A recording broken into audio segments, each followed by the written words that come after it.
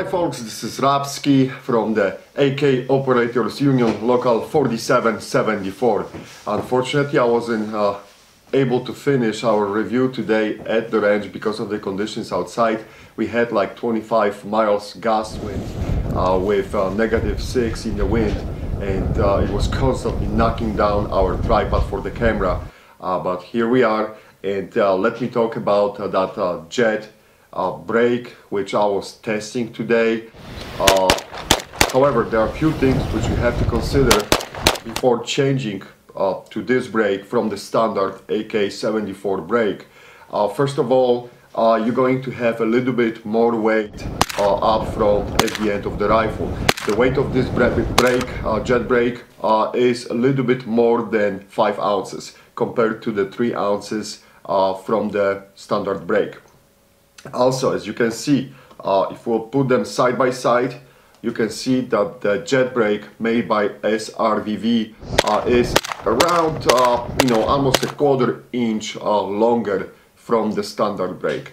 So uh, these are the trade-offs which you have to take uh, into the considera consideration when you are going to install the jet brake. However, now let's talk about the positives. Uh, the brake performed extremely well. I mean, there is absolutely no recoil. Uh, and I mean absolutely no recoil. You can drive that gun from target to target without any problems. And uh, gun is uh, much easier to control, especially when you are engaging the multiple targets or you are engaging the same target multiple times. So that's a big, big value add.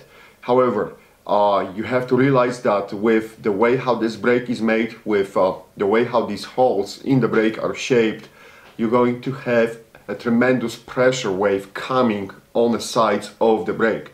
So if you are running with your teammate and you have people to the right and to the left, it is going to be very uncomfortable for them and yes, they're going to feel it. Uh, so something to keep in mind, okay, when you got that brake. Uh, another thing is uh, even when I was shooting from the uh, from the uh, like modified prone position when I was down and I turned the gun and turned my rifle on the side and I squeezed the trigger that pressure wave uh, was just absolutely blowing my leg off. So uh, nothing what you cannot control it you can get used to it but it is surprising at first. So uh, something to keep in mind that uh, when you're going to have that brake, uh, you probably have to practice it a little bit, uh, get comfortable with it, uh, and uh, understand better how this brake works and what this brake offers to you, but also what are the trade-offs and what you are compromising.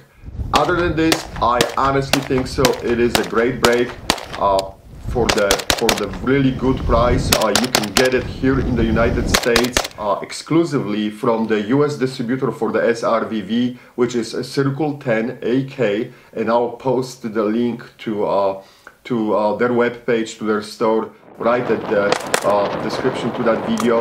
Uh, I highly encourage you guys if you want to upgrade your weapon and you are in lookout for a good brake. This is a good solution. Uh, so um, I'm really impressed with the performance. Few things to remember, uh, downsides as I said, but uh, nothing what you cannot handle. And uh, if you are really not shooting uh, as a, you know, in the large teams and uh, you don't have a teammate to the right or to the left, it's not that bad. There was another point of concern. People were talking about how loud this brake is.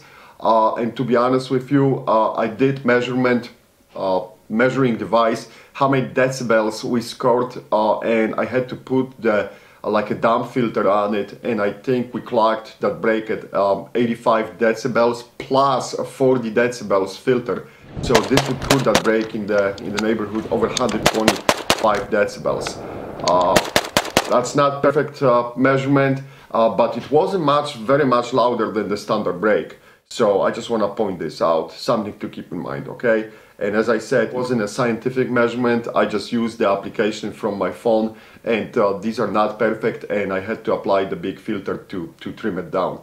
But uh, from just from my feeling, from the ear feeling, I didn't feel like uh, this brake was much, much louder than, uh, you know, standard brakes which you can have uh, on your AK or any other brakes. Uh, The biggest point of concern for me was that pressure wave, but uh, it is something for something. That's it. Please let me know if you have any questions, I, and uh, I'll try to answer these. Uh, and uh, I really, at this point, I would say it, it is a recommended product. Okay. Thank you. Thanks for watching, guys.